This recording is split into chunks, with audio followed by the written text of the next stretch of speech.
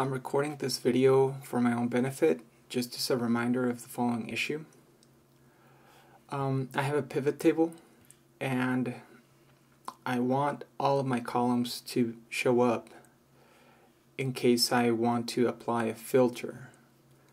So the issue is that when I wanted to go to the to my options and make the all of the data um, show up, this this boxes were not available for me.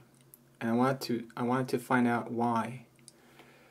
So on this web on answers.microsoft.com is, I found the explanation provided by Tina Shen.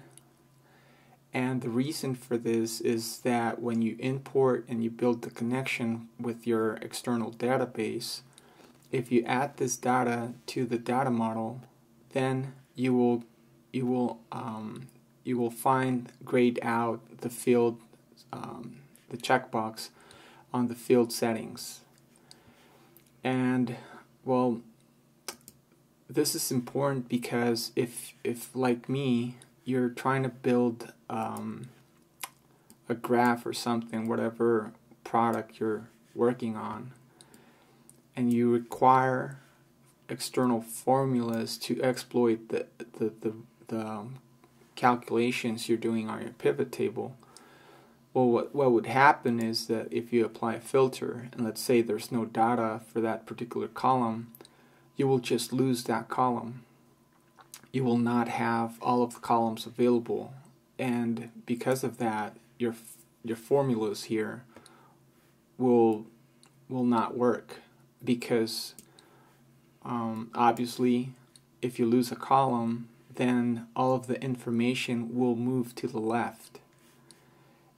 And the solution for that is that is as explained here, you just don't import, you just don't add the data to the data model. model. What that means is that when you create the connection, don't click here. This checkbox right here says add this data to the data model if you don't check this, what will happen is that you will create a connection like so. And once that connection is created, you can just load that to a pivot table or a graph, right? But again, just don't click here. If you click on that checkbox, what will happen is that within your pivot table, you will not be able to go to the field configuration and make all of the columns available even though um, in case there's no data for that column. So by not clicking on that checkbox this field is now available and thanks to that it doesn't really matter what filters I apply to the whole pivot table, I will always have all of my columns available.